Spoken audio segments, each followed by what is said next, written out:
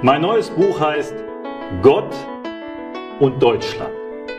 Es ist ein sehr persönliches Buch über die Situation der Christenheit in Deutschland.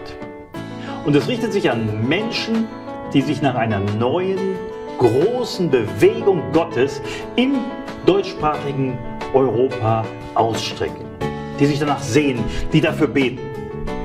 Und wenn du dazugehörst, dann lade ich dich in diesem Buch auf eine Reise ein, die dir erklärt, warum die Situation der Christenheit in Deutschland so ist, wie sie eben ist und warum sie sich schon sehr bald dramatisch und umfassend verändern wird.